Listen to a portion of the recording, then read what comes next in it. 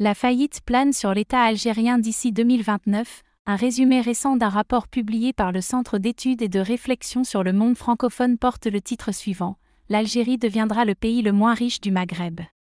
Cette même source prédit une détérioration de la situation économique en Algérie au cours des prochaines années en raison de sa dépendance totale à l'égard des exportations de pétrole et de gaz, dont les prix ont commencé à revenir au niveau d'avant la guerre russo-ukrainienne.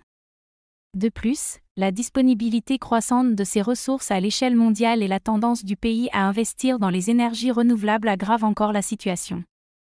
Dans ce contexte, l'économie algérienne repose principalement sur les hydrocarbures, qui ont représenté environ 90% de ses exportations l'année dernière. En revanche, le Maroc et la Tunisie ont su créer une économie diversifiée et compétitive, comprenant plusieurs secteurs tels que l'agriculture, l'industrie textile, l'automobile, l'aviation et le tourisme. Ces pays occupent donc des positions avancées en termes de climat favorable aux affaires.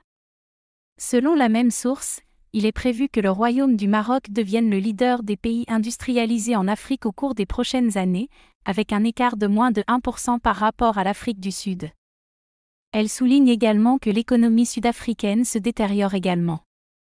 Le centre conclut que la politique économique inefficace menée par l'Algérie, associée à l'absence de réformes majeures et à une insuffisance de ressources naturelles pour masquer la réalité économique du pays, la contraindra inévitablement à emprunter à l'étranger et à mettre en œuvre des réformes structurelles afin d'éviter de répéter le scénario vénézuélien, pays lui aussi riche en pétrole.